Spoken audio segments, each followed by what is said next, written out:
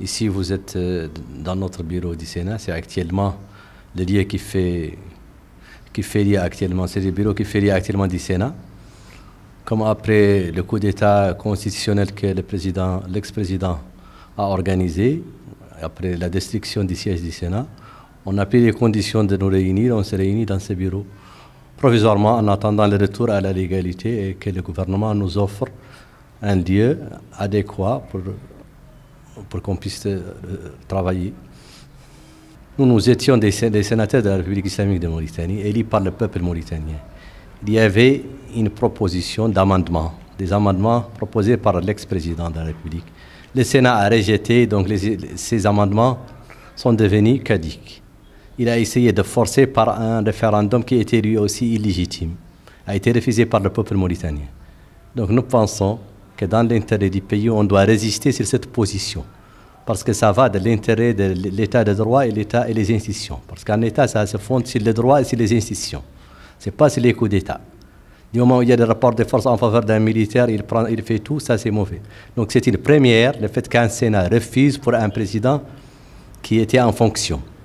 Et de cette démarche, nous, nous sommes plus, pour nous, nos mandats sont finis. On peut être, ne pas être des sénateurs. Mais devant l'histoire, nous sommes obligés de continuer jusqu'à le retour à la législation. Et on, pense que c'est la première chose que ce gouvernement et ce nouveau pouvoir devait faire pour montrer vraiment qu'il y a un changement. C'est le respect des institutions et le retour à l'ordre constitutionnel.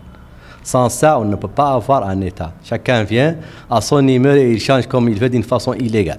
Donc nous, aujourd'hui, on représente le Parlement de Mauritanie, parce que le Parlement de Mauritanie est bicaméral. L'Assemblée nationale n'est pas légitime, elle ne peut pas légiférer sans l'autre chambre. Donc toutes les lois qui se font aujourd'hui ne sont pas légales.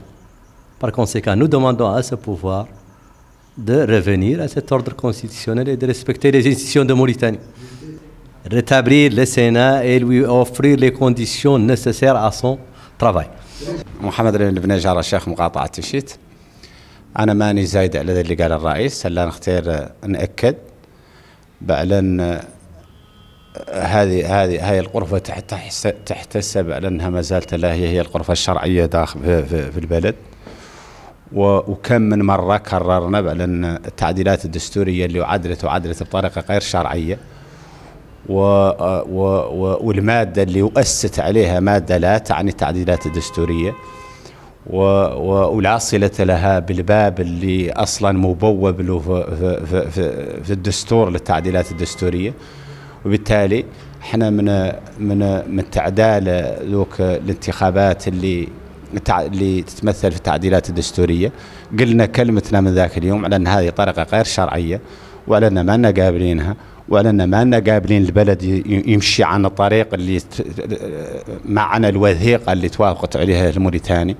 وما زلنا في نفس في نفس عندنا نفس الطلب وفي نفس الظروف ولكن نطالبوا ذيك الساعة مع مادة نعرف على أنها هي هي المعدلة ولا هي لا يتقبلوا. ومن جاء هذا؟ النظام الجديد.